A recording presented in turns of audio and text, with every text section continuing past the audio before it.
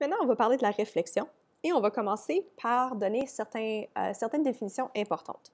Donc, quand on va parler ici en physique de milieu, on va parler d'un endroit où la lumière va se propager.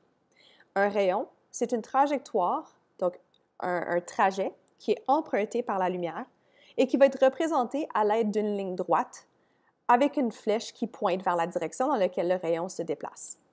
Un faisceau, ça va être un ensemble de rayons, donc plusieurs rayons, qui peuvent être divergents, convergents ou parallèles. Donc, divergents, c'est si les rayons vont dans des directions différentes. Convergents, c'est si les rayons vont dans une même direction et vont aller converger sur un seul point.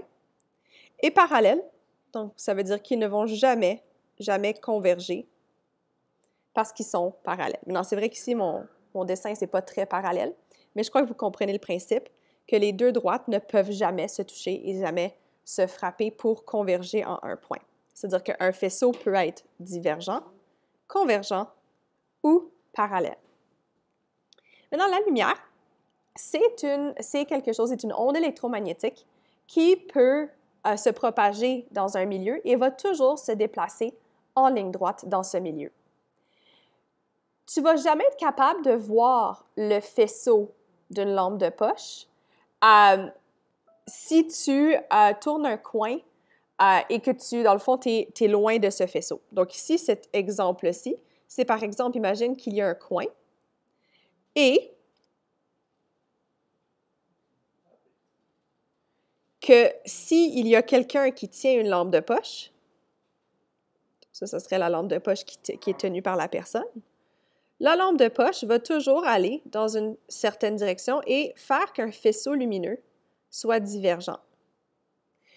Une lampe de poche ne va pas être capable de juste changer la trajectoire de la lumière pour éclairer dans cette zone-là. Elle ne peut pas tourner un coin.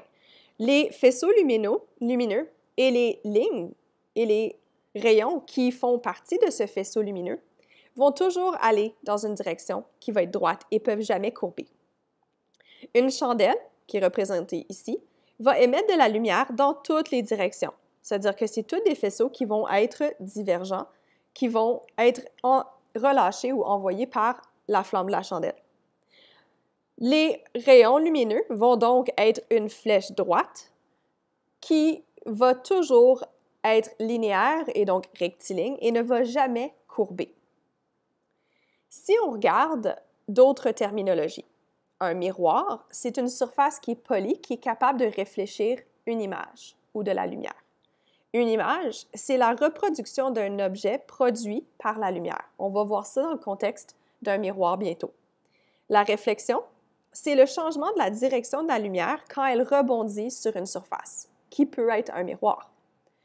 Un miroir plan, c'est un miroir qui est plat, à la différence d'un miroir courbe, qui va avoir une certaine courbure dans ce miroir.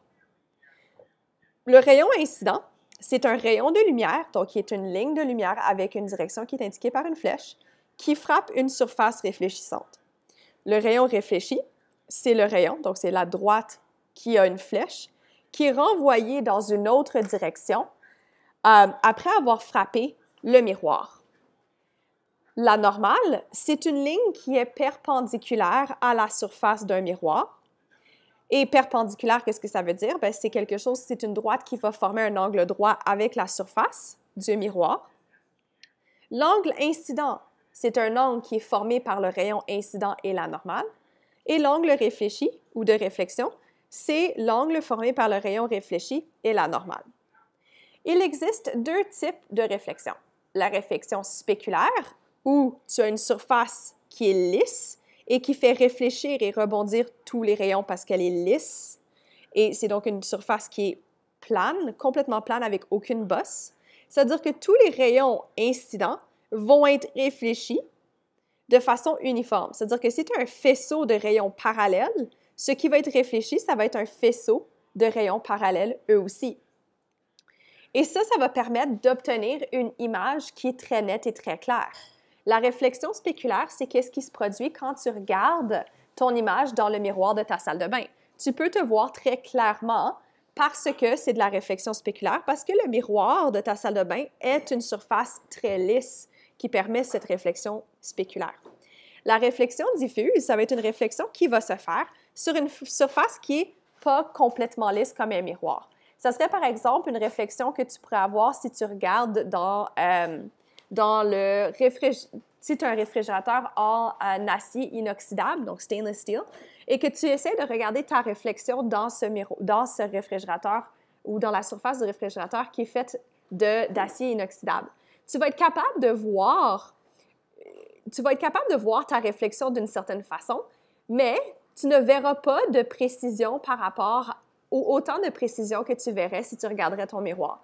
Ça, c'est parce que l'acier inoxydable de ton appareil électroménager, comme ton euh, réfrigérateur en acier inoxydable, va pas être une surface qui est lisse et qui est polie. C'est-à-dire que les rayons lumineux qui le frappent, même si c'est des faisceaux de rayons lumineux qui sont parallèles, en frappant la surface qui est inégale, les rayons vont aller dans toutes les directions, donc vont être diffusés dans toutes les directions et vont pas rester parallèles, ce qui ne donne pas une image qui est nette.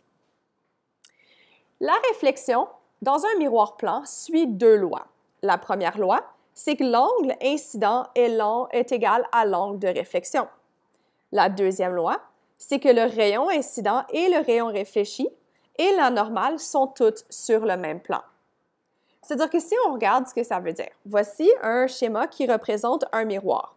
Ici, tu as ton miroir qui est plan et tu le reconnais parce que c'est une ligne droite. Et généralement, on va donner un hachuré pour représenter le derrière du miroir. Ici, on a un rayon qui a une flèche qui indique que ça s'en va vers le miroir. Ça, ça veut dire que c'est le rayon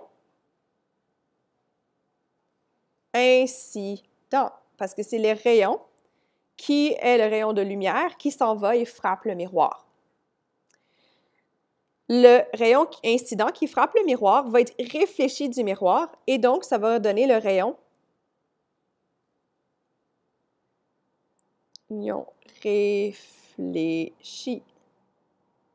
Le rayon réfléchi est identifié par le fait que c'est une flèche qui s'éloigne du, euh, du miroir. Et ça, c'est indiqué par la direction. C'est pour ça que c'est important dans un diagramme de rayon sur un miroir plan d'indiquer le sens dans lequel le rayon se, déplace. Si le point d'intersection entre le rayon incident et le rayon réfléchi sur le miroir plan, c'est le point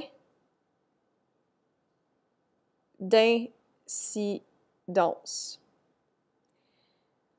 Le point d'incidence permet de déterminer ce qu'on appelle la normale. J'ai mis point d'incidence à la mauvaise place. Donc ici, on va mettre point d'incidence ici.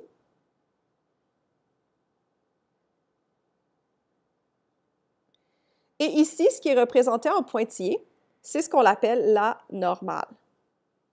Comme je l'avais mentionné, la normale, donc c'est cette droite-ci, qui est une droite qui doit être perpendiculaire au miroir. Donc, si on regarde ici le miroir, ici, l'angle entre la normale et le miroir doit être de 90 degrés, qui est représenté par cet angle droit.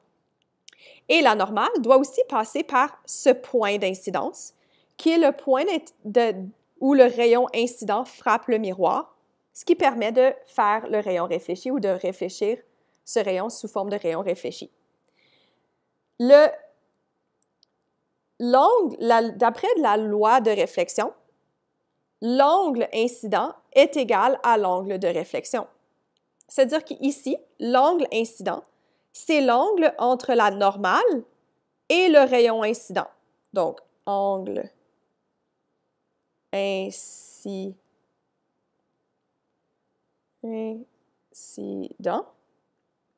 Et d'après la première loi de réflexion, c'est égal à l'angle réfléchi, qui est l'angle entre la normale et le rayon réfléchi.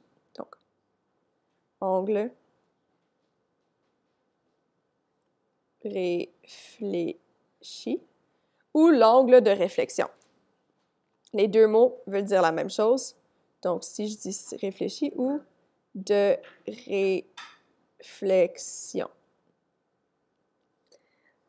Ceci permet donc, cette loi-là, de déterminer si on te donne un angle incident, quel va être l'angle de réflexion ou l'angle réfléchi, ce qui va te permettre de déterminer le rayon réfléchi où il va se déplacer et où il va se situer par rapport au rayon incident, au miroir et à la normale.